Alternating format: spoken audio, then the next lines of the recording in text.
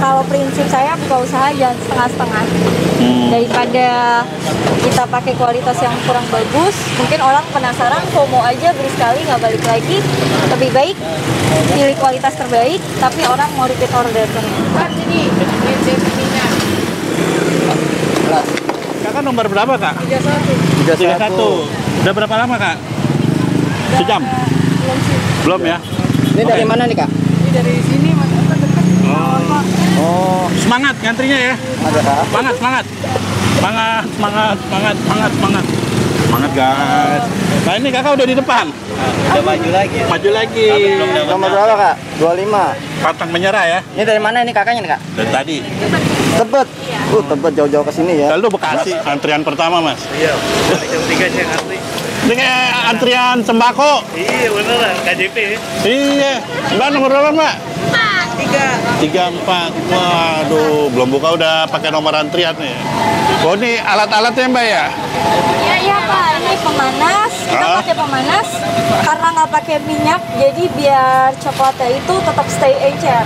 Oh stay encer Iya. Ini dengan mbak siapa boleh tahu? KR nih. KR nih Iya. Lagi settingnya kak Iya nih, kita mau set kompornya dulu. Ini alatnya mahal juga ya kak? Stainless semua ya? Iya, semuanya stainless. Alat pemanas. Pemanas makanan sih. Oh, ini ada airnya gitu ya? Nggak ada. Oh nggak ada. Ya, Dia jadi kita panasnya dari mesin pakai sini. listrik. Oh listrik. Oh ini modal juga. Penghangat, penghangat makanan buat di hotel-hotel. Ah. Buffet-buffet di Aluken itu biasanya. Iya iya iya. iya. Itu apa ini kak? Ini coklat yang kita pakai pakai kabelut. Kaleb. Impor. Ah, sorry. Impor. Iya, impor. Ya, ini Belgian coklat. Oh Belgia. Impor dari mana? Belgia. Iya, Kak, dari Belgia. Oh langsung. Mantap. Dilelehin semua ya. Kalau leleh di sini lumayan lama 30 menit. Oh gitu. Jadi bikin antrian panjang tuh karena panas coklatnya. Sementara eh, dilelehin dari rumah. Oh ini dari dari rumah. Ini Iya. coklat rasa apa? Coklat aja. Ini milk coklat, ini white sama dark. Jadi ada tiga rasa. Oh ini coklat. Iya. Milk Yang mana coklat, bungkusnya mas? Yang milk coklat yang ini 823. Milk coklat 823. Oh, yang depannya ya? Ini 33 persen. Oh. Yang milk yang 28 persen sama dark 50 persen. Ini coklat putih kak. Iya. Ah.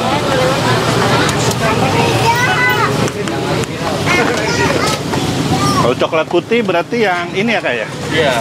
Oh. Oh yang ini ya? Dia emang dijual juga ini, Kak? Apa? Dijual di Indonesia mau ini? Iya dijual. Biasanya ada di online di Shopee ada, Shopee di ada ya? Bankway ada. Oh udah dilelehin di rumah ya kak ya? Iya.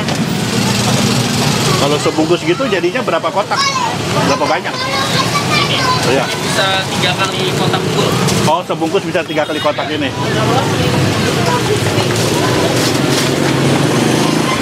Ini coklat putih kak? Iya.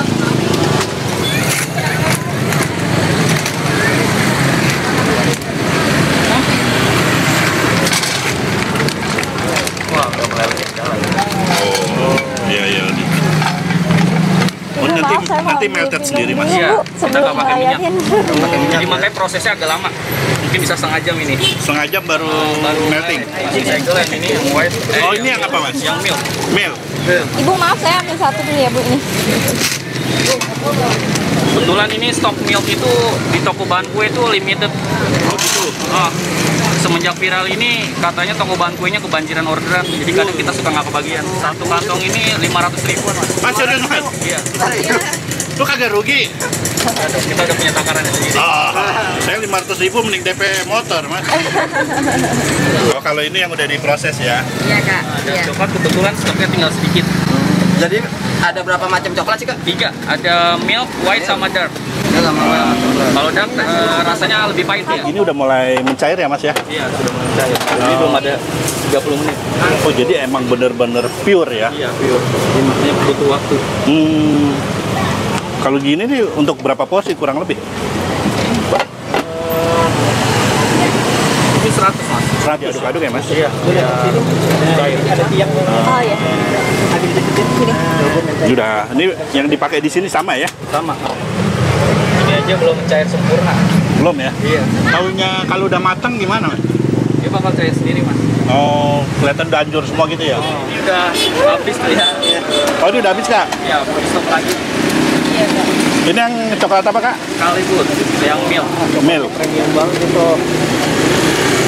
Untuk coklat koin kayak gini lebih gampang cair dibanding yang balokan. Oh, oke oke. Ini tanpa minyak, tanpa pokoknya tanpa ya. Ya, sih tunggu 20 menit paling. Oh, 20 menit. Oh, berarti ini bawahnya panas ya, Pak? Iya, panas. Oh, panas. Cuman panasnya bukan panas yang kompor, jadi cuman penghangat aja. Oh, penghangat. Ini buahnya ada blueberry.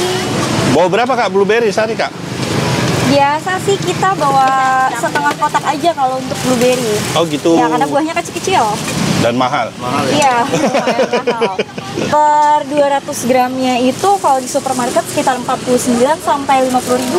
Waduh. Ya, 40 sampai 50 ribu. Oh, yang penting customer puas ya kak. Iya.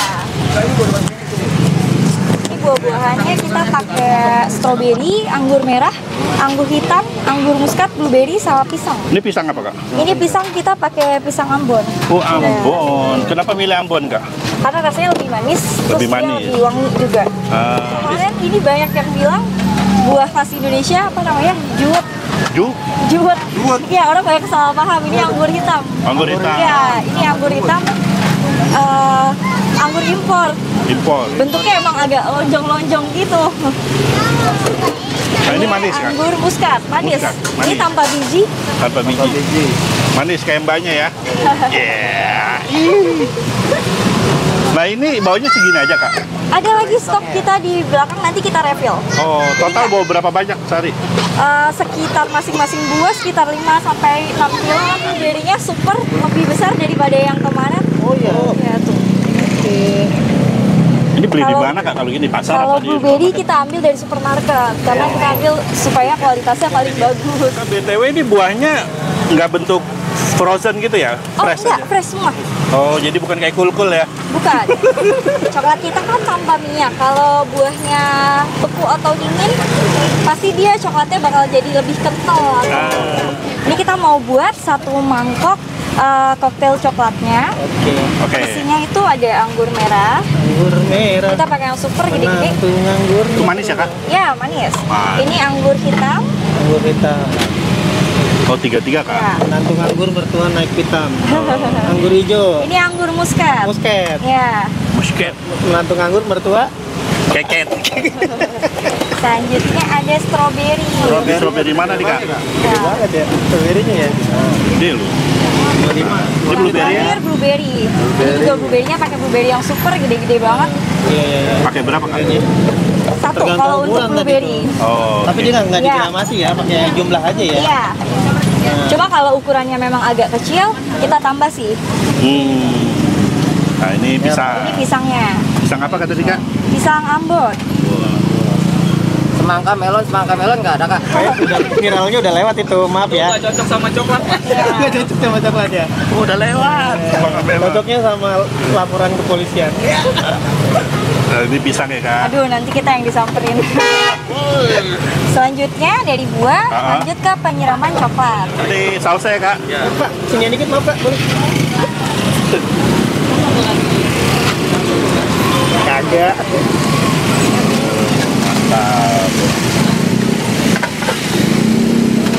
Kalau standarnya kalau orang nggak minta dikasih mix gitu kak? Iya, terima kasih. Ah, Kalau dari request dia lebih suka pahit, berarti dark juga Dark banyak. coklat ya.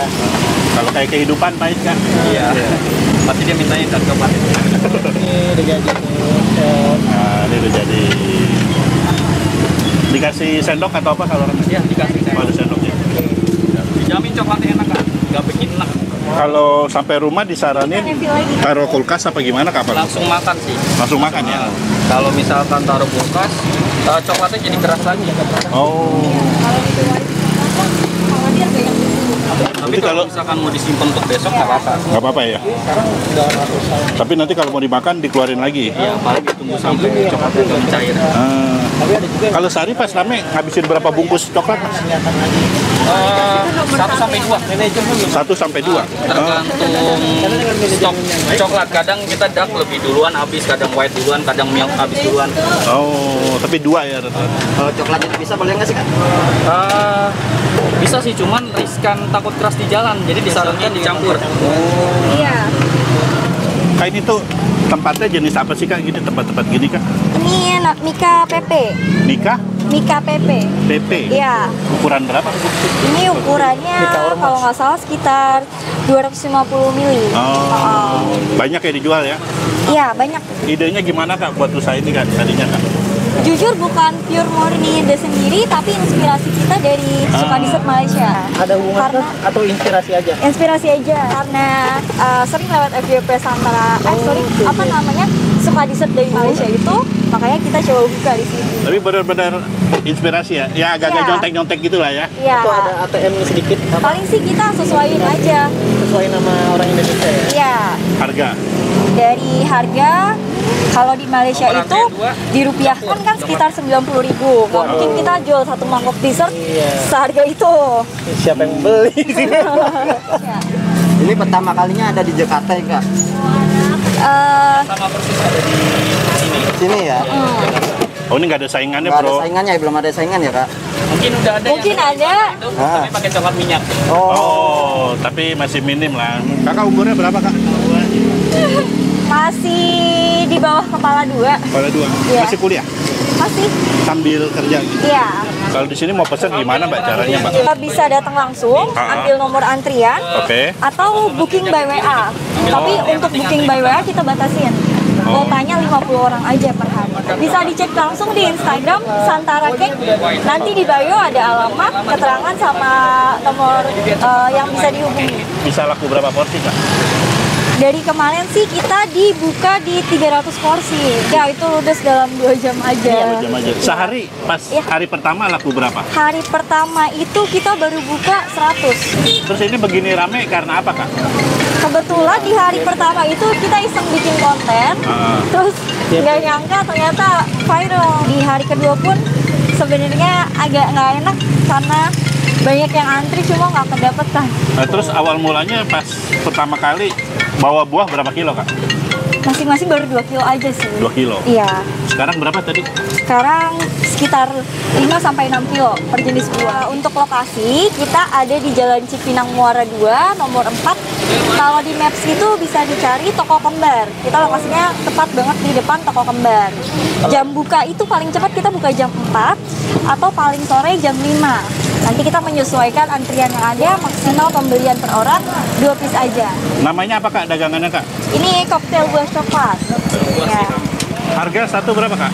Per bowlnya 25.000 kalau boleh tahu modal awalnya ini berapa kak? Untuk modal under 10 sih. Ada 10? Iya, Udah balik modal? insya Allah udah. Wow, dalam 4 hari? Tiga hari. Ini hari keempat. Keempat. Iya, Apa yang memberanikan kakak buat buka usaha kak? Kan ambil kuliah kak. iya. Motivasinya apa kak? Berpikir untuk lebih pilih usaha sendiri karena mau berdiri di kaki sendiri aja. Oh, biar nggak minta orang tua lagi. Iya. Kakak jomblo kak?